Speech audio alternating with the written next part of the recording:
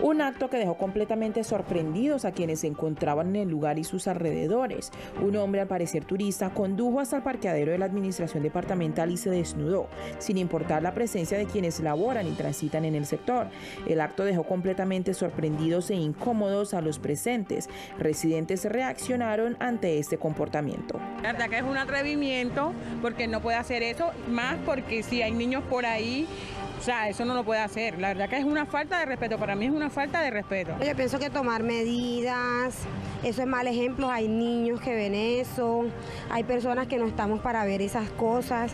Entonces yo pienso que los turistas últimamente están viniendo acá como a hacer cosas que de pronto en sus países no pueden hacer, en su tierra no pueden hacer y vienen a hacer sus cosas vulgares, porque para mí eso es algo vulgar. Las autoridades tienen que estar presentes, más pendientes a esas situaciones. Eso no debe de aceptarlo aquí en San Andrés porque este una isla de donde vienen muchos turistas de todas partes y tienen que tener mucho respeto.